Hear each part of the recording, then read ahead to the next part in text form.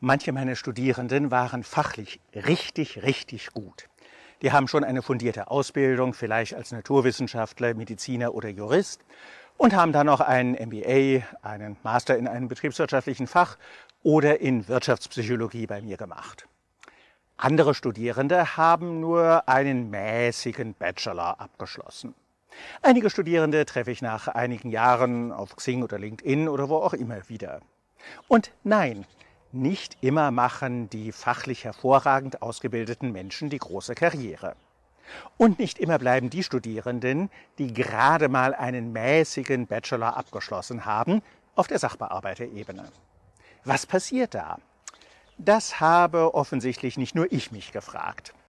Das Handelsblatt hat einen Artikel dazu veröffentlicht. Diese fünf Eigenschaften zeigen Chefpotenzial.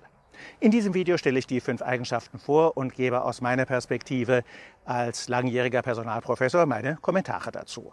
Vorab, selbstverständlich muss eine Führungskraft eine Idee haben, was in ihrem Bereich eigentlich passiert. Das nötige Minimum an Fachwissen setze ich also voraus. Nun aber zu den Chefeigenschaften. Erstens. Empathie wird zum Schlüssel für den Erfolg. Im Artikel wird Empathie zusammengebracht mit der Fähigkeit, unterschiedliche Interessen von Investoren, Mitarbeitern, Öffentlichkeit und Politik in Einklang zu bringen und mit emotionaler Intelligenz. Ebenfalls zu diesem Punkt gehört, dass der Chef an der Rezeption grüßt, also eine gute Kinderstube. Also ein breites Spektrum. Chefs haben mit unterschiedlichen Menschen und Interessen zu tun und müssen darauf eingehen. Das umfasst rationales Suchen nach Interessenübereinstimmungen und Kompromissen, aber auch die emotionale Komponente. Leichter als eine abstrakte Definition fällt es, Beispiele zu finden, in denen diese Eigenschaft zu wenig ausgeprägt war. Zweitens, gut moderiert gewinnt Akzeptanz. Hier gibt es eine Überschneidung mit der ersten Eigenschaft. Wer nur mit Positionsmacht führt, also Anweisungen gibt, weil er Chef ist und deswegen Anweisungen geben kann. Wer nur mit Positionsmacht führt, wird wenig umgesetzt bekommen. Mitarbeiter müssen überzeugt werden, dann arbeiten sie mit. Chefs, denen das nicht gelingt, bekommen es mit zähem, verdeckten Widerstand zu tun oder die guten Mitarbeiter wechseln gleich zur Konkurrenz. Drittens. Headhunter suchen nach Resilienz.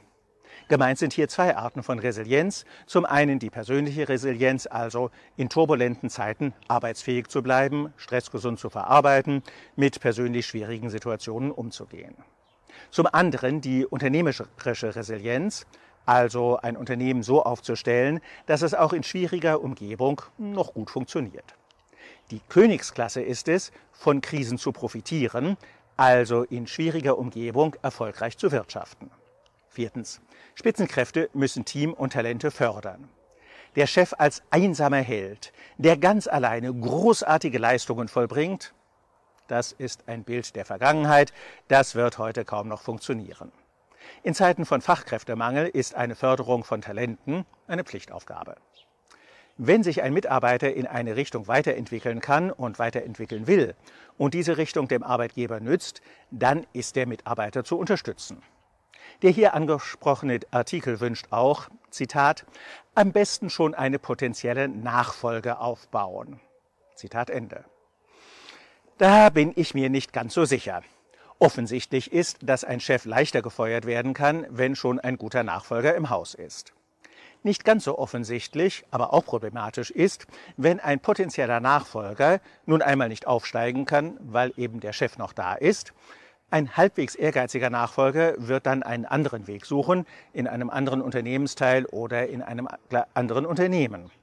Einerlei, so verliert der Chef einen guten Mitarbeiter. Fünftens, Interesse an Technologie wird immer wichtiger. Das ist ein bisschen tricky. Selbstverständlich soll eine ranghohe Führungskraft nicht selbst programmieren, nicht selbst Systeme einführen oder, als aktuelles Beispiel, nicht selbst ChatGPT bedienen. Andererseits bekommt man ein wirkliches Gespür für die Chancen und Grenzen neuer Technologie eigentlich nur, wenn man selbst Erfahrungen sammelt. Fazit. Ja, Fachwissen ist wichtig, aber Fachwissen alleine führt nicht zum Chefsessel.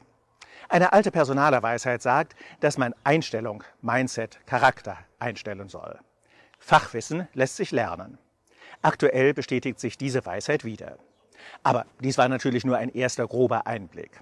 Was konkret Unternehmen tun sollen, die überleben wollen, wie sich Unternehmen innovativ aufstellen können, das hat die Berliner Unternehmensberatung Dark Horse beschrieben.